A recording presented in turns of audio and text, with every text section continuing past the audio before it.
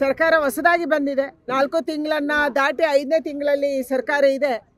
ಆದರೆ ಐದು ತಿಂಗಳಲ್ಲಿ ಬಹಳ ದೊಡ್ಡ ಎಡವಟ್ಟುಗಳನ್ನು ಸರ್ಕಾರ ಮಾಡಿಕೊಂಡಿದೆ.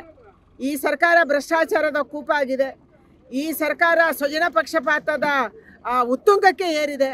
ಕಾವೇರಿ ನದಿ ನೀರಿನ ನಿರ್ವಹಣೆಯಲ್ಲಿ ಪೂರ್ತಿ ವಿಫಲತೆಯನ್ನು ಕಂಡಿದೆ. ಯಾವ ಕಾವೇರಿ ಪ್ರಾಧಿಕಾರಕ್ಕೆ ಸರಿಯಾದ ಮಾಹಿತಿಯನ್ನು ಕೊಡಬೇಕಾಗಿತ್ತು, ಸುಪ್ರೀಂ ಕೋರ್ಟ್ಗೆ ಮಾಹಿತಿಯನ್ನು ಕೊಡಬೇಕಾಗಿತ್ತು, ಆ ಮಾಹಿತಿಯನ್ನು ಕೂಡ ಕೊಡಲಿಲ್ಲ. ಅವರು ಮೀಟಿಂಗ್ಗೆ ಮೊದಲೇ ನಮ್ಮೆಲ್ಲರನ್ನ ಬರೀ ಕಣ್ಣರಿಸುವಂತ ಅಂತರವಾಗಿ ಕರೆದ್ರು. ಅದಕ್ಕೆ ಮೊದಲೇ ಹದಿನೈದು ಸಾವಿರ ಕ್ಯೂಸೆಕ್ಸ್ ನೀರನ್ನು ಪ್ರತಿದಿನ ಅವರು ಬಿಡ್ತಾ ಇದ್ರು. ಈ ರೀತಿ ಸರ್ಕಾರ ಎಡವಟ್ಟುಗಳ ಮೇಲೆ ಎಡವಟ್ಟನ್ನು ಮಾಡ್ತಾ ಇದೆ. ಇದು ಸಿದ್ದರಾಮಯ್ಯನವರ ಸರ್ಕಾರ ಅಂದರೆ ಒಂದು ಎಡವಟ್ಟು ಸರ್ಕಾರ ಅನ್ನುವಂಥದ್ದು ಜನಕ್ಕೆ ಅನಿಸೋಕ್ಕೆ ಈಗಾಗಲೇ ಆರಂಭ ಆಗಿದೆ.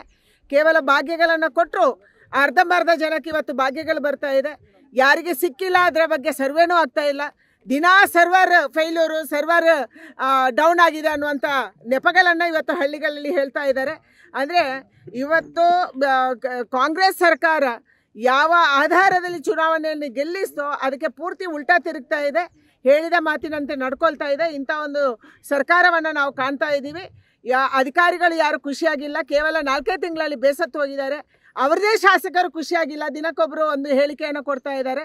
ಇದು ಇವತ್ತಿನ ಸರ್ಕಾರದ ಪರಿಸ್ಥಿತಿ, ಆದರೆ ಮುಂದೇನಾಗುತ್ತೆ ಗೊತ್ತಿಲ್ಲ. ನಾವೊಂದು ವಿರೋಧ ಪಕ್ಷವಾಗಿ ಕೆಲಸ ಮಾಡೋಕ್ಕೆ, ವಿರೋಧ ಪಕ್ಷವಾಗಿ ಅತ್ಯಂತ ಬಲವಾಗಿ ಹೋರಾಟ ಮಾಡೋಕ್ಕೆ ನಾವು ಸಿದ್ಧ ಇದ್ದೀವಿ.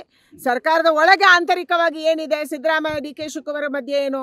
ಎಂ ಎಲ್ ಎಗಳು ಎಂ ಎಲ್ ಎಗಳ ಮಧ್ಯೆ ಏನು? ಮಂತ್ರಿಗಳು ಏನು ಮಾಡ್ತಿದ್ದಾರೆ? ಇದೆಲ್ಲವನ್ನು ನಾವು ರಾಜ್ಯದ ಜನಕ್ಕೆ ಗಮನಿಸ್ತಾ ಇದ್ದಾರೆ